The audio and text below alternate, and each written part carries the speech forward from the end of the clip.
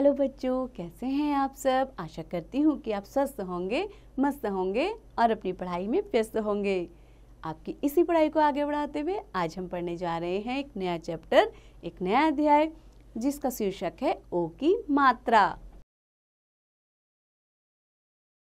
तो बच्चों, ओ की मात्रा कैसे लगती है? ओ की मात्रा अक्षर या वर्ण के दाई ओर से लगती है और एक मात्रा और एक डंडा होता है, जैसा कि आपको दिखाया गया है।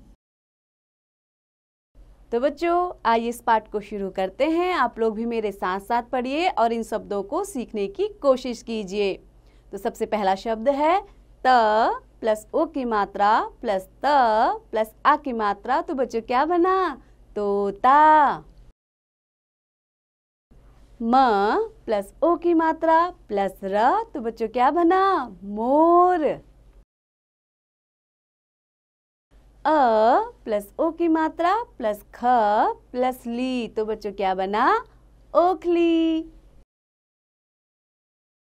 म प्लस ओ की मात्रा प्लस म प्लस ब प्लस आधा त प्लस ती। तो बच्चों, क्या बना?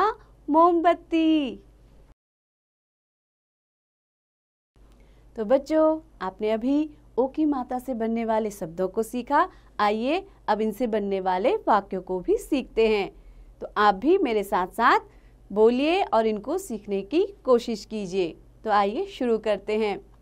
मोनू गाओ मोर। मोनू आओ, आसमान देखो। मोर को वर्षा का इंतज़ार है। अब तो ज़ोर से भागो। छोटा खरगोश भागने वाला है। मोनू अपना तबला लाओ, तबले को ज़ोर से बजाओ। कोयल कू कू करती है, मोरनी उसको निहारती है। तो बच्चों, कैसा लगा आपको ये पाठ? आशा करती हूँ कि आपको अच्छे से समझ में आया होगा। आपने ओ की मात्रा अच्छे से सीख ली होगी, समझ ली होगी। तो ऐसे ही पढ़ते रहिए, आगे बढ़ते रहिए और हाँ इसका अभ्यास भी ज़रूर कीजिए।